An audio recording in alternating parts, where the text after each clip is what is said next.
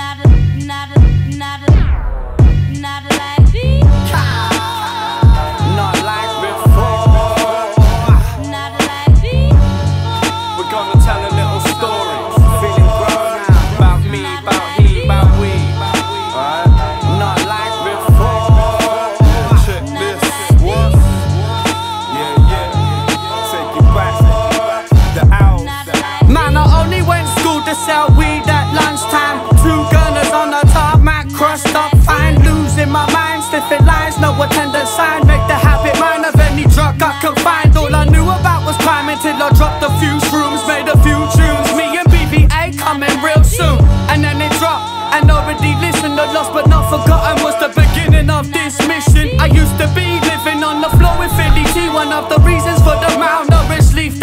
He gave me the PC. I used to make the beats for this CD. Got past the torch from Razzie and Cool G. Much respect for that. And high focus is the future. See, I've got your back. No shotty in my backpack. Got my queen, ain't no need to chase rat. You're behind while I slowly take over the map. Watch the owls attack. Many things have changed since the old school days. Running round on train tracks, spraying up the trains. Picking up an eighth bag to blaze it in the day. Now I smoke a little less, but it's Hindu Kush. Hey, take you back for a lesson. Way back to the bricks, the mass open max sessions. Avarice spotted me, thought that I was repping. Then we met a little later at the speakers corner Mecca. They took me to a studio in Queens Road, Peckham. Recorded force fed imagery, it seemed that it was destined. They ain't seen them in a couple years because it's still my bridge and can't forget about the man who brought you in for a second. Like 30, certified G, the Mac veteran. One one from his collection. Got mad nice on the decks at every damn event, son. Also cash had our back, we rinsed up the shows and that. Supported Dare, the rugged man, that was classic fact.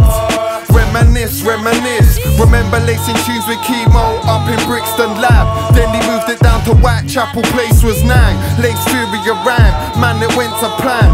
Since then I'm high, focused on the present fam. Make music, move units, stay repping that.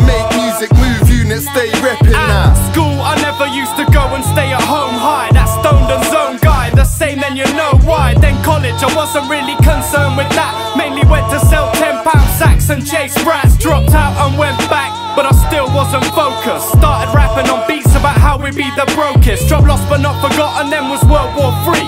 Then the war ended and we still hadn't dropped the CD. But now things are different, cause kids still pump and listen to the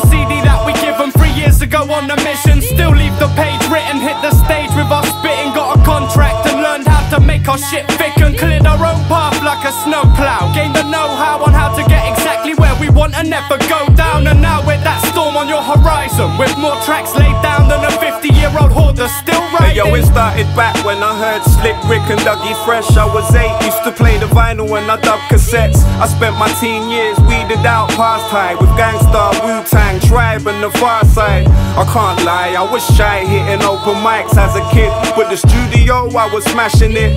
I had my first record out, I was 18, toured with for life Cypher that was like a daydream. Shedded my innocence, then started to grow wise and grow flow wise. I hooked up with low life.